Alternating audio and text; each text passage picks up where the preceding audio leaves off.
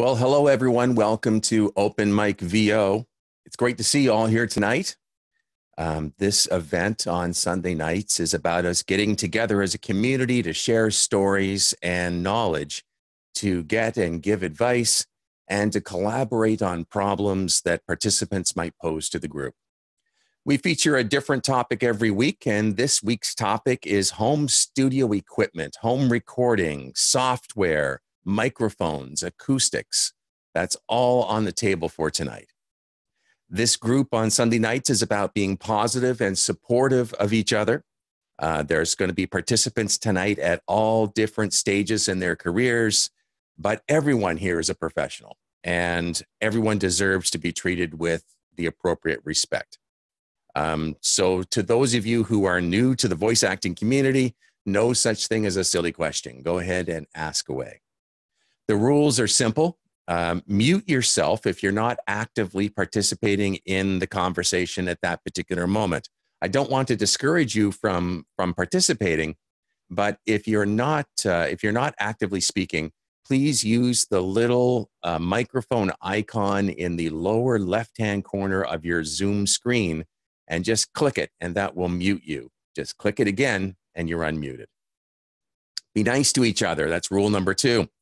And rule number three is we're recording and the recordings are posted to YouTube. So just keep that in mind. If you uh, if you're going to be giving us any information tonight that might be proprietary or or sensitive in nature, just remember that this does get posted to YouTube, and I don't have any control over where the recording might end up from there. Um, I also want to apologize. Last week, for some reason, Zoom did not record the uh, session. So I'm hoping that tonight all rolls smoothly and that it does record properly. I want to take a moment to thank voicezam.com for sponsoring tonight's Open Mic VO. Uh, is a unique demo player that allows casting directors to zero in on very specific reads in your demo. Learn more at voicezam.com. And if you use promo code OpenMic, O P E N M I C, all one word. Uh, Bob Merkel, who's the president of VoiceZam, will double the length of your free trial. That's promo code Open Mic, and you'll get double the length of your free trial. Uh, before we dive into the whole topic of home recording, I have a question for you. And that is Are you finding Open Mic helpful? And the reason why I asked the question is that Edge Studio, which is where I uh, used to work and I used to moderate their talk time on Sunday nights at 9 p.m., they moved it to 5 p.m. Eastern uh, back in August or September of last year. And that was the whole reason why I started Open Mic to begin with, was because I felt that uh, the 5 p.m. Eastern time that uh, that Edge Studio had moved talk time to was really inconvenient for everybody. And uh, that's why I decided to start Open Mic. Uh, however, Edge Studio is moving talk time as of next week, I think, as, as far as I understand, back to the 9 p.m. time slot. So that means that Open Mic and Talk Time would both be live at the exact same time, which doesn't make a lot of sense. So I give you a few options. We could just continue with open mic VO on Sunday nights at 9 p.m., just like we've always done. Um, we could move the time. Perhaps we start at 8 p.m. Eastern Time, 5 p.m. Pacific. Um, that could be another option. And the third thing is is open mic even necessary? Um, the whole reason why I started it was because talk time had moved from 9 p.m. to 5 p.m. If talk time's back at 9 p.m., then maybe open mic isn't, it's redundant. So why don't I uh, leave it to you guys? Please uh, let me know in the webinar chat box what you think. Should we just continue on at 9 p.m.? Should we move the time? Maybe we even move the day. Maybe we do it on Monday nights or Tuesday nights or something. Or uh, is it just redundant and we don't need it? Uh, we don't need it at all. I'll leave that up to you for your thoughts. Um, okay, enough about all of that. Tonight's topic is home studio technology. Let's get into it. Uh, once you see that I've unmuted you, please feel free to ask the first question or to offer the first story. Uh, and remember to mute yourself in the lower left hand corner if you're not going to be speaking right away. So I'm going to start unmuting people now. Uh, once you see you're, uh, you are unmuted, if you want to ask the first question, go right ahead.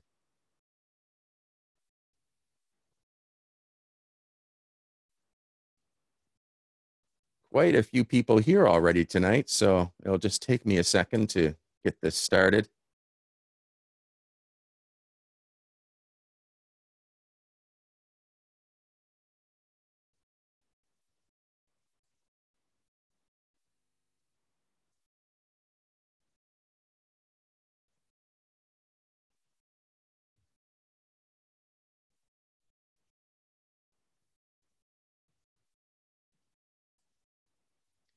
So, who wants to get us started tonight? Who's got the first question uh, about?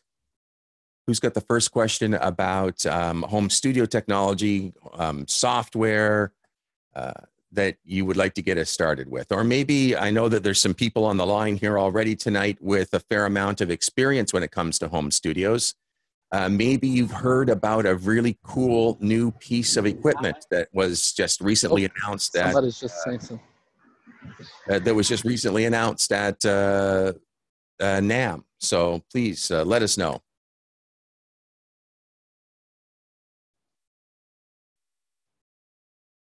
Graham, I have a question. Almost done unmuting people here.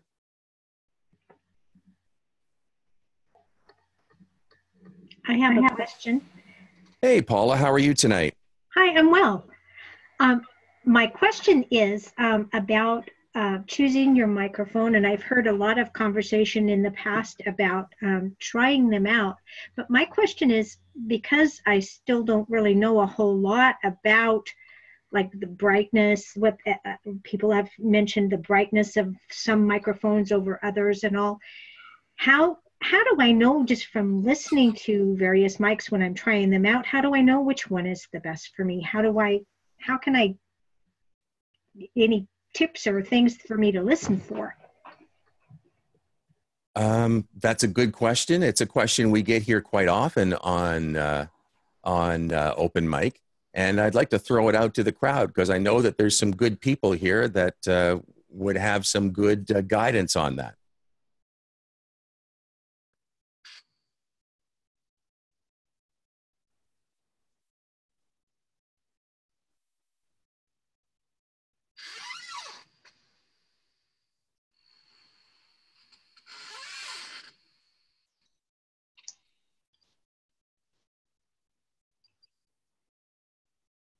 Boy, everybody's shy tonight, and there's a there's some people on here that I know are uh, pretty technically oriented. So, um, you know, he, my thoughts, Paula, on on microphones, especially when you're getting started, is that I think that we all stress far too much about which microphone is right for me.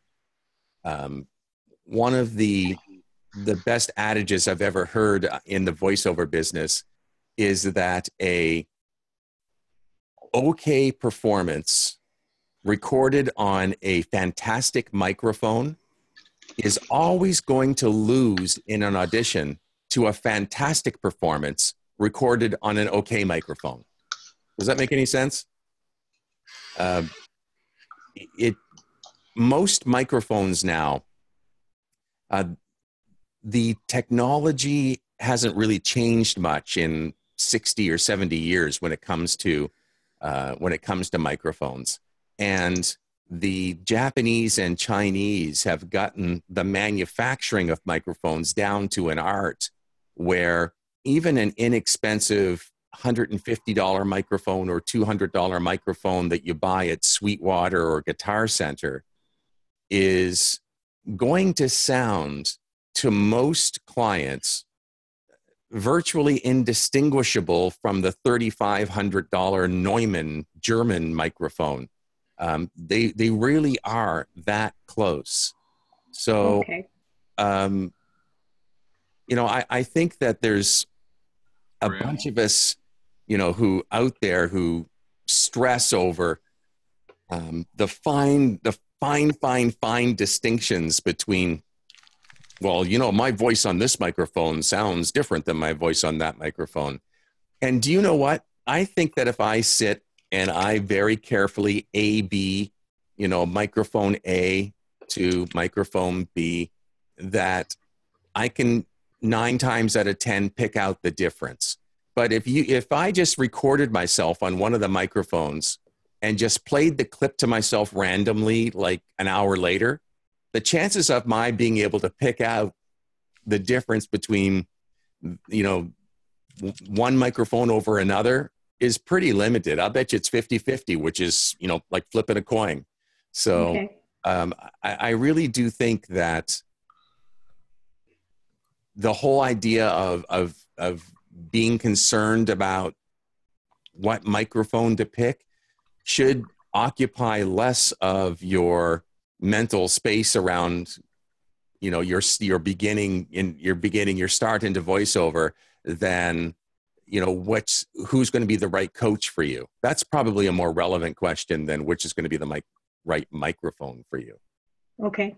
Thank you. That um, I've thought about that a lot, and I the mic that I'm currently using is by Blue. It's a Bluebird, and to my ear, I I think I sound just fine with it. So, but The I just was curious. the bluebird is a fantastic microphone i mean it's not a you know cheap you know 100 buck microphone it's it's a lovely microphone and i know you know i know professional voice actors who are you know out there cleaning up they're they're making uh, hundreds of thousands of dollars a year and they're doing it on like a $299 audio technica AT4040 or something like that um, the microphone, as long as it's recording you reasonably cleanly, um, it doesn't matter. It really doesn't matter. Um, I think you should be far more concerned about the acoustic space in which you're recording than you should be about whether you get a um, uh, the blue bluebird versus the Audio Technica versus the s- you know you know list another brand. Okay. Thank you. You're welcome. Who else is, wants to weigh in on that? I know there's some people here that are good tech people that um, you know usually can weigh in with a good uh, a good opinion on this question. Graham, can you hear me? It's Trey. Hey Trey, how are you? I'm fine, thank you. And hey, this is for Paula. Uh, I think uh, staying with the original question itself, uh, sourcing can be done by talking to. Uh, I would I would uh, suggest, uh, as you mentioned, uh, several of the major retailers in the country. Um my favorite, I've gotten most of my equipment from SoundPure, Chuck Giardino with SoundPure. Uh, these guys have their own fully equipped music recording studios at home. These guys know gear inside out and backwards. And their company, SoundPure, and perhaps you can get this same service from Full Compass. I just purchased some, some things from them. And of course, you mentioned Guitar Center and um, uh, Sweetwater. But uh, the, the more boutique shops like SoundPure uh, will send, first of all, give you advice on microphones in a budget range, whatever you want. And uh, with many uh, items they have, they will send out these units to you as demos. And you can pick and choose and send them all back or send two out of three back. Fantastic. Um, yeah, I've heard uh, SoundPure mentioned by uh, by others, and their reputation is really strong. I don't know Chuck uh, Giardino um, personally. I, I haven't had any opportunity to deal with him, but uh, Trey, I'm glad to hear that your uh, your interactions with him have been really positive to date, and uh, happy to put the SoundPure information out there for people to check out. Uh, I put Chuck's name and the name of the company into the chat box, And Stephen helped out by actually giving us the website address as well. So thank you for that, Stephen. Thank you. Yeah, right. Who else has got a question for us tonight on technology? Um, recording software, recording equipment, microphones, acoustics, anything in that ballpark is more than welcome tonight. Yeah, I've got a question too. Hey, Trey. In addition to answers, maybe. Uh, I'd like to know more about ribbon microphones for, you know, doing uh, VO work and, and podcasting and things like that. Uh, where do ribbon microphones fit into the scheme of who out there wants to weigh in on ribbon microphones? Who's had some experience with ribbon microphones and might want to uh, help us out with this? I don't want this to be all Graham all the time. So please, if you've got some experience with ribbon mics, it'd be great to hear it.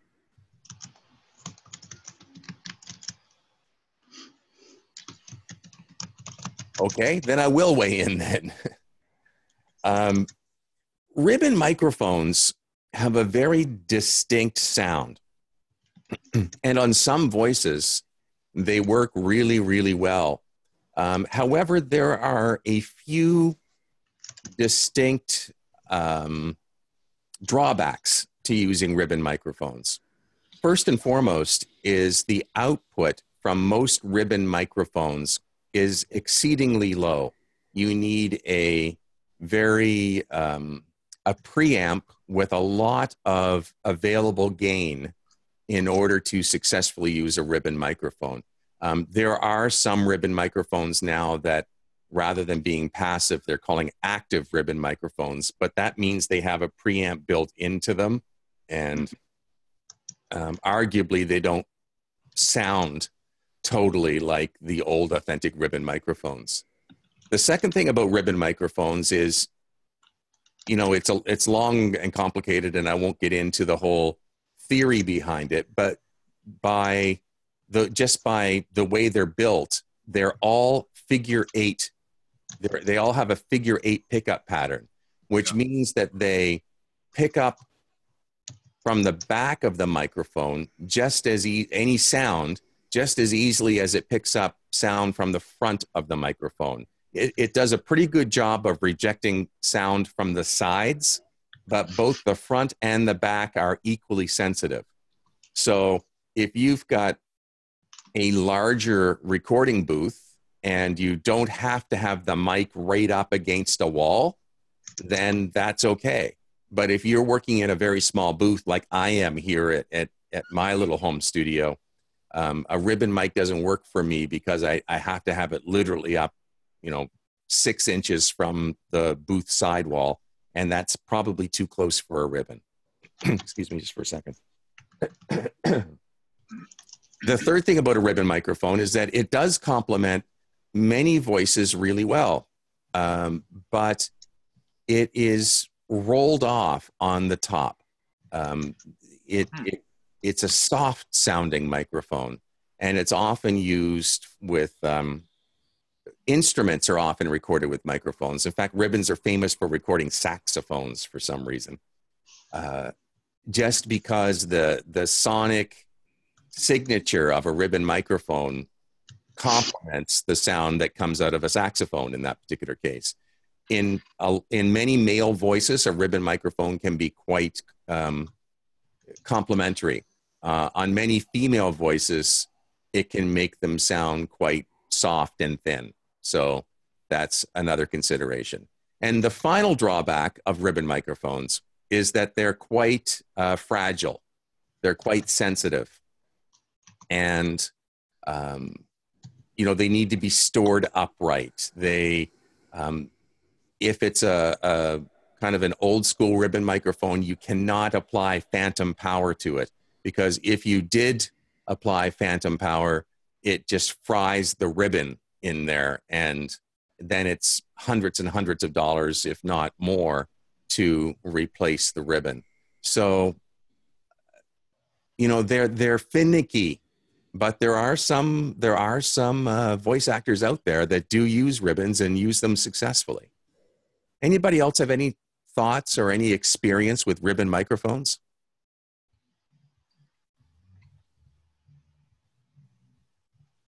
Can I ask another question? Please do. Okay. I saw that uh, Neumann is going to begin production of the original U67. And, and some of these things have come and gone before my time, you know, of involvement uh, with using voice type mics. I used to be, you know, on stage in entertainment and we used, uh, you know, different types of microphones there. But, but this U67 has all kinds of history, and accolades, and so on. But I'm not familiar with really how fantastic is it, or will it be? Do you think? The the original Neumann U67 has been long revered by voice well by vocalists of all sorts but by voice actors uh, especially it's um,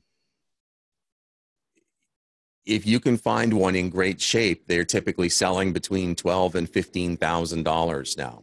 Um, that's how sought after original u67s are. In the 1980s like 1984 or 1985 i think it was. Maybe it was early 90s but i think it was early 80s um, Neumann came out and re-released a very limited run of of U67s because they were able to find enough of the original parts, and those original 60s or those um, reissued 67s um, also sold very very quickly. There was a very limited number of them. I think like hundred of them or 150 something like that. Um, and those are highly sought after by um, by recording studios out there as well. Um, if they are, I had not heard this news, but I'm not surprised because you know the, a couple of the big annual shows have just happened between CES and NAMM. so I'm not surprised. They announced a couple of years ago that they were reissuing the U47 FET uh, which was a, a, a, version of their original U47 microphone. And that was reissued with a, a substantial degree of success. A reissue of the U67, man, it will it will be a big deal when it uh, when it hits the stores. I'm be curious to know if there's a price point associated with it. What did they they suggest a price point, uh, Trey? I didn't see anything listed as, as the price. No if it comes in anywhere under five thousand dollars, it'll yeah. sell out instantly. It'll be a big, big deal. It's still going to be a very expensive microphone, though. Well, how will the character of it be any different from the uh, U87 uh, or, or, or, I'm sorry, the uh, 87 AI? The, well, the, the big difference is the U67 is a uh, has a vacuum tube in it. It has an EF86 vacuum tube, which distinct uh, it, it has a very distinct sonic character which is different than the u87 which is a uh, you know a, a transistor based right. um, transform a, trans, a transistor based microphone with a big transformer in it and it has a very distinct sonic character of its own which is often sought after by voice actors and and people you know recording music in recording studios. But the u67 has uh, quite a substantially different sonic signature because of the addition of that ef86 tube. It's it's a whole different thing. I'll be calling chuck in the morning well trey once you find out how much the uh, the retail price of the reissue is going to be be sure and uh, send me an email and let me know okay. Should I get a second one for you? um, I don't have the spare five grand in my pocket right now, but uh, I'm sure uh, a U67 is something I would look at at some point in the future. Just making some notes here.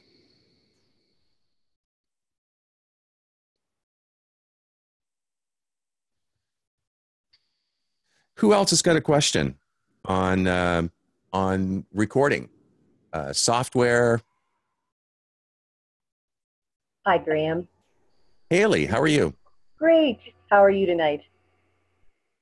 Fantastic. I have Fantastic. a question. I'm very excited now that I hear the U67 is being reissued. Yeah, I'm thinking of a few people I'm going to be telling that about. uh, I'm uh, curious about ISDN lines.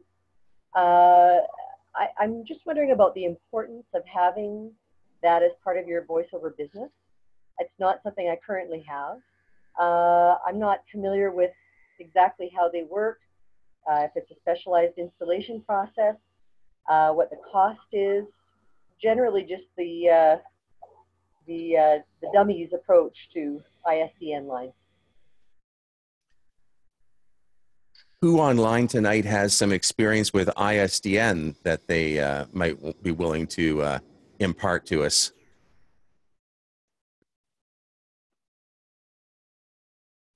Hey, Graham, it's Larry. Hey, Larry Hudson, how are you tonight? I'm very well. You're looking very dapper tonight. Well, thank you very much, sir. So, I'd love to address her question because I was in that dilemma. And and here's the sort of the bottom line about it all, and that is that obviously ISDN is a 30 plus year old technology that's, you know, just hard to die and yes, there are lots of uh, production houses, recording studios that want, you know, that demand that we have ISDN. But my fix for it was I know that it's going to go away, so I didn't want to go spend, you know, what, 1500 plus dollars for the codec box, plus whatever it would cost to get two telephone lines in here. And then I call Verizon and they don't know what I'm talking about. So what I did is I, um, I have Source Connect. And with Source Connect or IPDITL, IDTP, I, IDB, let me, IP, IPDTL, either one of those internet based, basically ISDN type connections, you can bridge to ISDN because I've found in the last two years, I've done one ISDN session and probably 30 Source Connect sessions. So for me, it was a simple matter of spending the money to buy Source Connect. And when I need to bridge it, it costs me like 15 bucks and it's not a big deal. So my personal thought on this is to buy ISDN, unless you're using ISDN at least once a day, every day, five days a week, it isn't it's just too cost prohibitive. And there's easier as good workarounds by using source connect or IPDiddle and using a bridge. So haley because you asked for the um, the simplest possible version i'm just going to clarify a couple of things that larry that larry just said and larry thank you for that um, first of all isdn is a hardware based solution you have a box in your studio at your place. There is a similar box in the studio that you're patching into. And you use, as Larry said, this 30 year old crappy, uh, plain old telephone line technology to have one box connected to the other. It, it's a very, it's an antiquated uh, technology that the phone company hates and everyone wishes would just go away. But as Larry said, it does ma- it does continue to be a staple in a lot of studios across America, and it's stubborn. It's it's dying, but it's dying a very slow death. Kind of reminds me of the knight in the Monty Python movie. It's like, well, I lost an arm, I lost another arm, I lost. I can still fight um, it, it's kind of like that. Um, Larry mentioned a couple of technologies. One was called Source Connect. That's Source hyphen Connect, and you can find it at source hyphen elements.com. Um, it's a software based solution. It doesn't have a proprietary hardware box. It uses internet technology and it doesn't require an investment in a hardware codec, as it's called, sitting in your studio, or it, it doesn't require a hard a hardware codec sitting at the studio at the other end either. Um, and acceptance of Source Connect, IPDTL, and other internet based solutions is getting better, but there are still many studios that are adamant about ISDN. And that's where Larry described uh, bridging comes in. What bridging uh, entails is you using your Source Connect technology, you call this third party company that has a bunch of Source Connect boxes or, or Source Connect lines coming in and a bunch of ISDN codec boxes. And basically, all you're doing is you are phoning into the ISDN codec and then you're being connected via this third party ISDN hardware box. Works really well. Um, as Larry said, you, you, you pay for it on a per minute basis. It's really quite reasonable in cost, and it doesn't require you to invest in a 30 year old technology. So um, that's, that's a little bit more basic version of what it was that Larry just said.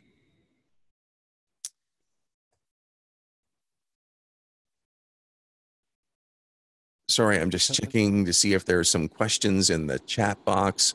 Um, of course, I'm still very interested in getting feedback from all of you with regards to, um, as I mentioned, Edge Studio is moving uh, their talk time back to 9 p.m. on Sunday nights. And the whole reason I started Open Mic VO originally was because I thought that Edge Studio moving talk time to 5 p.m. Eastern wasn't really very convenient for anybody.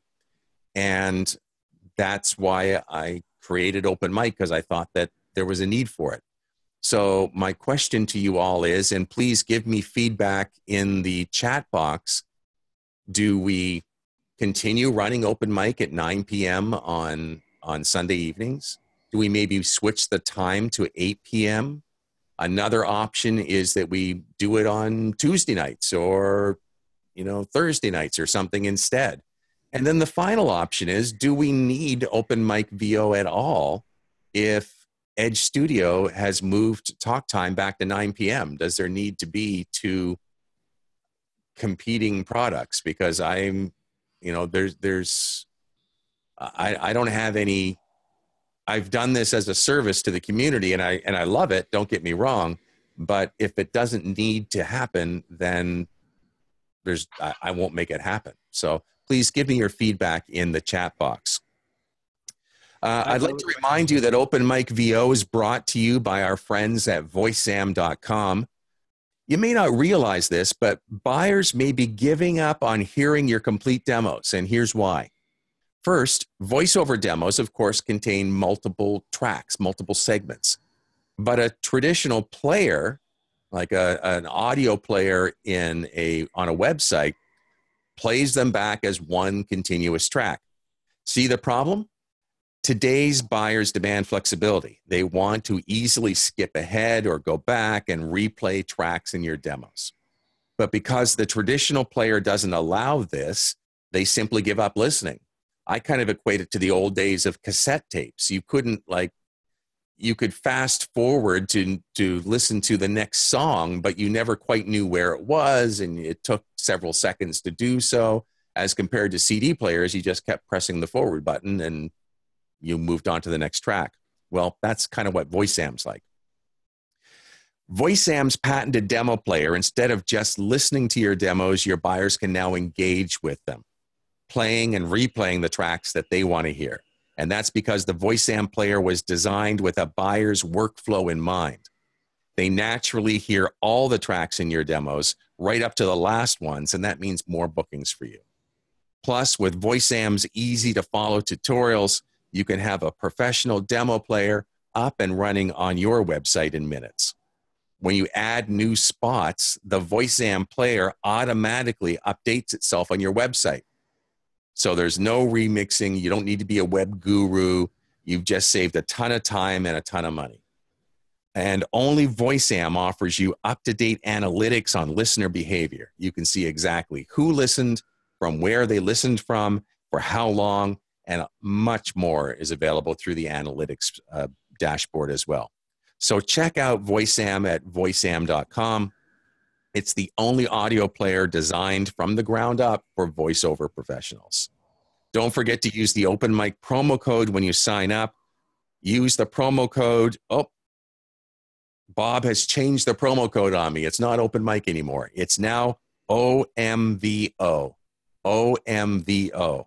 When you sign up for VoiceZam, promo code OMVO at voicezam.com, and Bob will double the length of your free trial.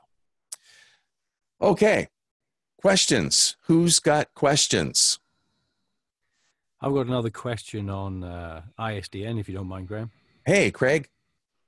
Yeah, following on from uh, what Larry said, um, I just did an audition and uh, through my agent, and they said they have to have ISDN. Uh, I can't get ISDN where I live, so I was looking at IPDTL. How easy is it to, uh, if I just went ahead and got the one month plan, whether it's Source Connect or IPDTL? how easy it to, is it to set up for the first time and use? It's Larry? seamless. It's seamless. If you're if your ID, you can even buy a one day pass of IPDiddle for fifteen bucks. I think it is something like that. and um, all you do is you're you're literally you could pull this off in a half hour. Like you know you got notice now they want you in thirty minutes. You could easily be ready to roll in thirty minutes. So does it seamlessly tie in with your uh, DAW? Yeah. Uh, did you just type well, in the, the ISDN run, number? Yeah, IPDiddle runs on, yeah, you just have the other person's ISDN number. You would give that to the bridge consultant as part of what you get set up. And then you basically, you're calling from IPDiddle into them, and then they bridge it through their, through their um, ISDN codec box and go straight to the studio. Sounds easy. It, Think of it almost as you're doing Zoom today. yeah, it, you're you're absolutely right, sir. And you know, listen, just I, I've helped a lot of people like they're freaking out and they have they they didn't have Source Connect, but they were advertising that they auditioned for something that they needed Source Connect, and literally they got called at eight o'clock in the morning. I had somebody on, you know, like at nine o'clock. You know, literally that's how quickly you can sign up, get it rolling because it's just software. You're just down, you're installing a program. On IPDiddle, you don't even do that. It's just runs on Chrome. The only thing you have to have installed on your Chrome eh, on your computer is a Chrome browser. That's it. Yeah. IPDiddle comes from the UK originally, from a BBC engineer, I believe, and um, Source Connect. You know, but they're all internet protocols, so it's just as easy as what we're doing now with this conversation, pretty much. Yeah, there are actually three different versions of Source Connect. Two of them actually involve you installing a Source Connect application in uh, on your computer, and there are some advantages to using the standalone application. There's plugins that you can use in Pro Tools, etc., so that uh, Source Connect is feeding directly out of Pro Tools. So if you wanted to do some processing in Pro Tools, before sending your signal out across the line through Source Connect, you can do so. So there's Source Connect Pro, there's Source Connect Standard. Those are the two, you know, installed versions of Source Connect. And then Source Connect has a product similar to IPDTL's product, which is a web browser based uh, web browser based product. It just uses the codec that's built into Chrome and uh, and provides a very intuitive, you know, browser interface over top of that. Um, so both Source, excuse me, I'm dry throat today. Source Connect now, I think, is their version of it, and, and it's free. IPDTL, and it's free. Source Connect now is free. You can't beat that. Have you used it, Larry? You, I, well, here's a great story. So I there was another person in in my associates that bought Source Connect. I think she spent, you know, Source Connect standard, which is 650 bucks one time, that's it. And um and she was trying to connect and they they you know they it was something was messed up and all of a sudden something popped up. When I saw everything that she did, she wound up doing the whole session on Source Connect now, but she didn't know. because the guy called in and she answered and then they just went and did it and they actually did it on source connect because she had both on her computer and she didn't know where he was calling her from. So you know that there there goes to show you you know you could even not spend the money. But see most studios if they're moving from an isdn going to a source connect they're using one of the top two tiers. They probably may or may not have source connect now. I mean again because source connect now is free so but it does work pretty well. I mean yeah, yeah i've used source connect now. i've used source connect now but uh, that one can't connect with an ISDN line though. As far exactly, as you can't bridge Source Connect now to ISDN. Ah, I didn't know that. Yeah, you can bridge IPDTL to. Yes. Yeah. Yes. Yeah. So so clearly IPDTL. I mean, Source Connect now. Uh, Source Connect, the standard version, the installed software version, I think is six hundred and ninety-five dollars for the base version and it's like $1500 for the pro version. Uh, so you, but it's a one-time fee and versus ipdtl which is some sort of very modest monthly subscription fee. And you know certainly the feature set in the source connect installed products is richer than ipdtl but for 99% of the voice actors out there just doing simple one track mono uh, tracking to a single studio in you know a, a city 100 miles from them um, it works just fine. And just so just as an add-on to that if we're talking numbers one of the the only thing that you would have to buy for a source connect product to is is if you choose to i think it's like a hundred bucks a year for su- full-time support. Right. And that's the only excess cost that you might incur if you should so choose. I should mention that their support is incredible. Like i have reached out to them at eight o'clock at night at seven o'clock in the morning. They're based all over the world. Like one of them's in England, another one's in South Africa, another one's in Australia, and somehow they seem to have almost 24 7 support, which is, inc- they don't guarantee that, but I got to hand it to them. Their support is incredible. Uh, Steven Gonzalez just passed along. Source Connect Standard is $650 US. Source Live Pro or Source Connect Pro, sorry, is $1,495. So um, I wasn't too far off on the pricing. And then Source Connect Now is free. So, uh, and IPDTL, does anyone have a, uh, does anyone can do some quick research for me and let's figure out how much the IPDTL is on a monthly subscription basis?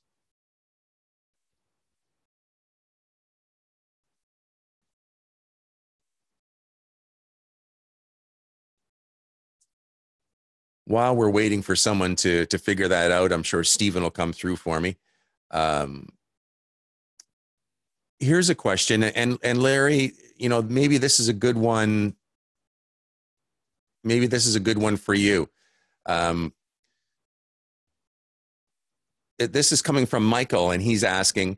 So, does phone patch mean ISDL or IPDTL or Source Connect or Skype? Like, like, what's the difference between Source Connect and and ISDN and technologies like a phone like a phone patch, which is you know as simple as it sounds.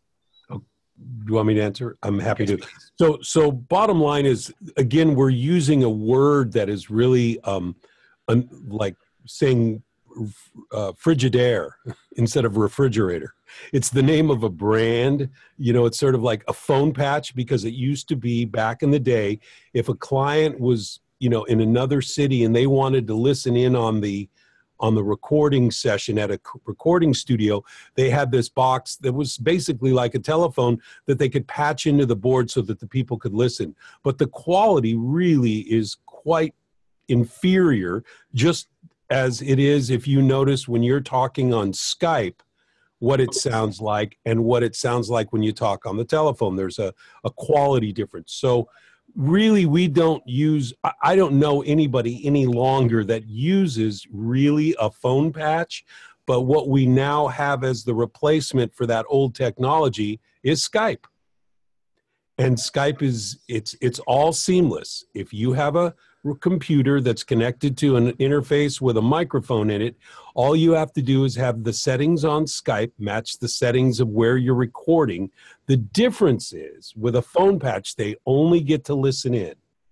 So what you're going to be doing on your end as a voice actor is you're recording on your end as well as sending out the same signal that's going to your recorder is going out through skype so they can hear you better. Now where people get confused is there there is this possibility that there is someone on the planet that is um, uh, uh, um, resistant to having a Skype ID, and that's fine. But you could actually go spend you can you can put money on your Skype account like ten bucks, and I think it costs something like two cents a minute to call within the United States and possibly Canada. And what you do is you if you have credit you can actually dial their telephone from your Skype. I sit on my I sit here at my desk and everything's integrated. I don't call on my phone. I call people on Skype because it's just easier because I already have my my my earbuds in and my microphone's live and and I'm talking to them on their phone from my Skype. And so that's easily done. And quite candidly, I I've never actually had to do that. Everyone that has ever said, we want to do a, a, directed session or a quote, I need you to have phone patch, they do want to do it by Skype the what we were talking about earlier with the source connect ipdiddle isdn that is a, a, technology so that the people on the other end can record you. A phone patch is just so they can listen in and you're recording the the making the recording on your end. And then you would obviously either send them the raw file or edit it as requested and then send it to them in your normal format and that's really all a phone patch is. But skype now they don't even call it what i don't hear any i don't hear phone patch anymore. What i hear now is i need to do a skype directed session. And that's what i call it so.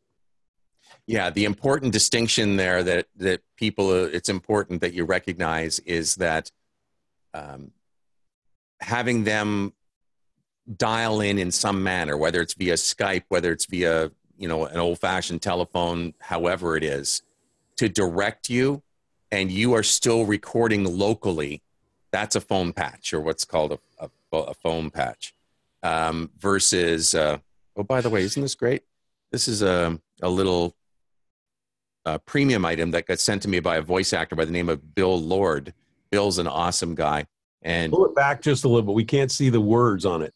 It, it says, uh, nothing rhymes with orange studio which is the name of bill's uh, bill's um, business, and he did these little oranges, which uh, stress balls. I think they're awesome. Anyway, um, so phone patch means that um, they are phoning in and directing you, but you're still recording locally, versus ISDN or Source Connect, where all you need to worry about at your end is just speaking into your microphone, delivering a great performance, and making sure that the signal's going out over your lines correctly because you don't have to record at your end. The recording's being done at the other studio, wherever that may be. So that's kind of the difference between a, phone patch and like a, a more comprehensive ISDN or Source Connect session. Okay, uh, who else has got a question for us tonight on on recording technology?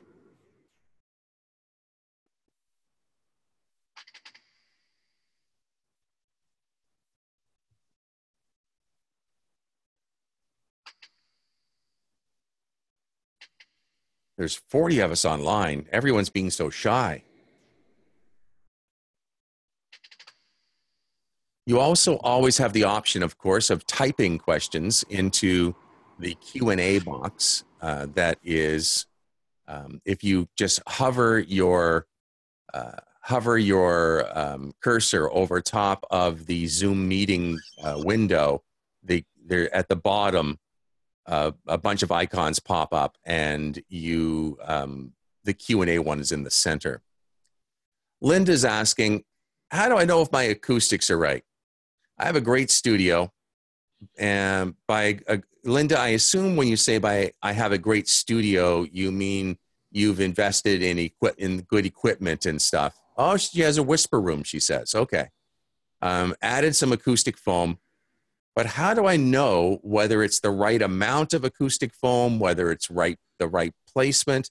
How do I know whether my acoustics sound good or not? And that's a good question. Um, my answer would be ask a professional. And I would refer you to George Whittam. Um, George Whittam you can find at uh, George the dot tech or georgethetech.com. Either one of those uh, websites will will reach him.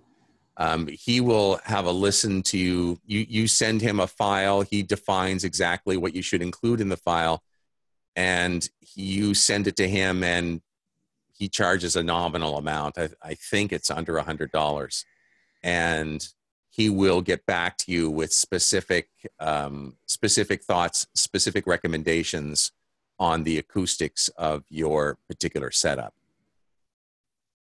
Uh, yeah, Craig says contact George. Uh, Paula says uh, Dan Leonard. Dan Leonard is George's partner in crime on VOBS or Voice Over Body Shop, which is their uh, free streamed uh, vlog that they produce every Monday night. Uh, and Dan has a good set of ears and he could help you out as well. And you can reach either one of them through the um, VOBS uh, website. VOBS as in voiceover body shop .tv.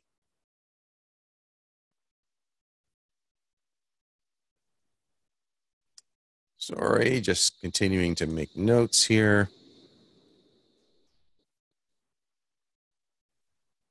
Uh, by the way, there's been a lot of chatter in the chat box about my dilemma as to whether to continue with uh, Open Mic VO and whether we should shift times and whatever. I am starting to think, based on your input, and thank you all so much for, for your thoughts on this. I'm starting to think that we'll keep open mic uh, running for the foreseeable future. We're going to keep it on Sunday nights, and I'm going to shift it to 8 p.m. Eastern Time, 5 p.m. Pacific, and we'll try that for a little while and see if uh, uh, if that works. Because again, I don't want to um, interfere with the success of Edge and Talk Time. Uh, Talk Time has been you know a staple in the voiceover community for seven or eight years now and i do wish the i do wish the best of success to edge with talk time. So rather than competing head to head let's uh, move uh, open mic vo to 8 p.m and we'll see what goes from there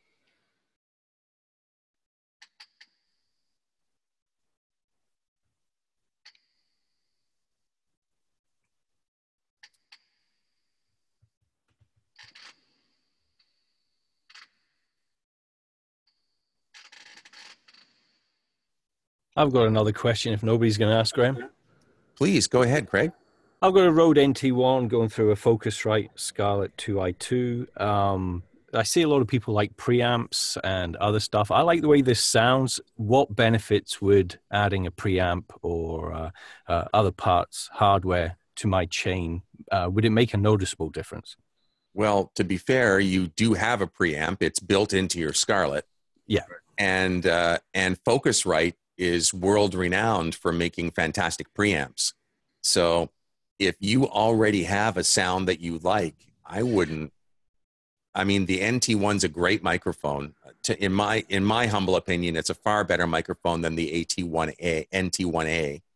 Um, and I think that uh, uh, if you've got a system that works, why mess with it? And the other thing is, why incur more costs when you don't have to if that is money that you can be using on marketing yourself or getting more coaching? That's what i would suggest. I agree and that's what i'm doing but uh, you know i've heard a lot about people putting tubes on the front end and uh, to soften it a little bit. Obviously i just don't know how much difference that actually makes for the cost that's involved. Um, i mean for you to buy a tube preamp that would improve your sound rather than than degrade your sound because there are a lot of cheap tube preamps out there for like a hundred bucks or 200 bucks but it will make you sound worse not better. I mean an entry level tube preamp is going to be you know six or seven hundred dollars or more. I'm trying to remember what the uh, universal audio solo 610 i think is probably one of the least expensive tube preamps I'd recommend, and I think it's almost a thousand dollars now um, to buy if you buy it new. So uh, I, I think that you are in great shape just as you are. If you're happy with the sound of the NT1 going into the existing Scarlett preamps, I'd, I'd, I'd keep it as it was. Uh, Cynthia asks, I have a good amount of insulation and noise dampening in my recording space. But if a large truck or lawnmower or snowblower starts up, uh, she can hear it in her sessions. Is it appropriate to ask a client to hold on for a second or to schedule a quiet time of the night to call and record? Um, how do you go about managing your client's expectations when it comes to doing uh, live directed records? And that's a great question. Who's got some thoughts on that?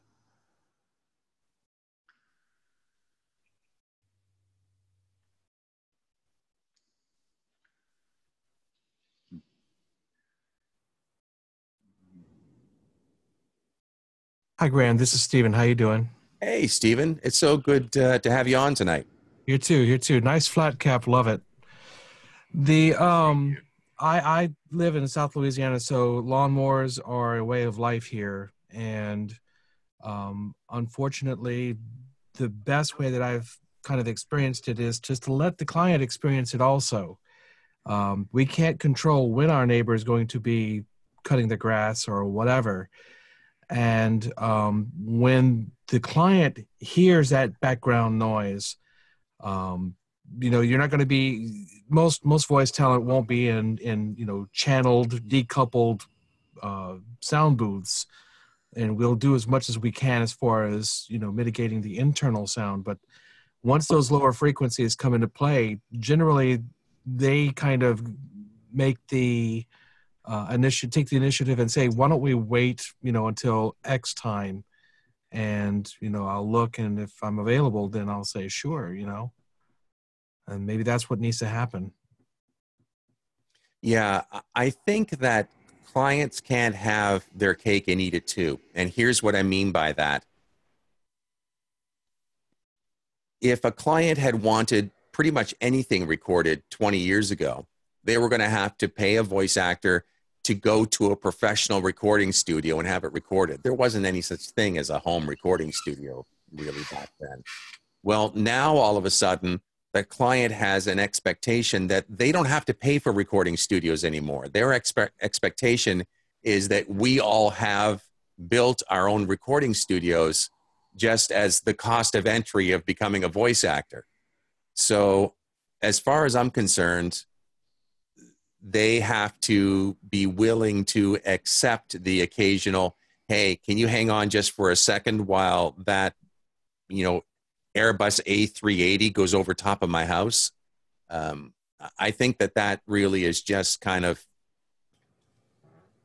in my experience i have never come across a client who gave me a hard time if i said hey can we take that tape again or can we take that again because I, I think that there might have been a some rumble from an airplane in in the uh, in the recording. I've never had a client give me a hard time about it. Sure, they haven't given me a hard time either about it, and I mean they want to be. We we want them as to be as successful as possible. They want us to be as successful as possible. So it's a team effort. Absolutely, Absolutely. Well, we're up on 10 o'clock. So, with that comment, we're going to wind it up. Um, thank you again to VoiceZam for sponsoring the show tonight. Um, remember to use the promo code OMVO. OMVO. And uh, if you use that promo code at sign up, uh, will double the length of your free trial period. So until next Sunday, and remember, as of next Sunday, we're going to be starting at 8 p.m. Eastern, 8 p.m. Eastern, 5 p.m. Pacific. Um, so until next Sunday, 8 p.m., work hard, audition a ton, get lots of work. Good night, everybody. Good night, Graham.